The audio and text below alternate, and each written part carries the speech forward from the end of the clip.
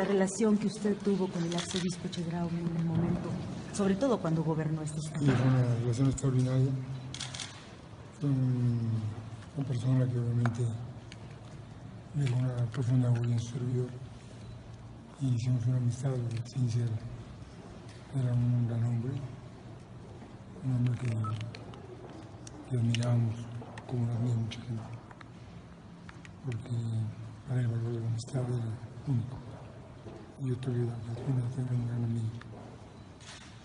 Eh, Estamos hoy aquí en, en el legado que llega para todos, aquí en la catedral, porque nos benefició con mucho esfuerzo, como todo en la vida, a le costó mucho trabajo, y llegó a hacer esto, aquí en México, como lo.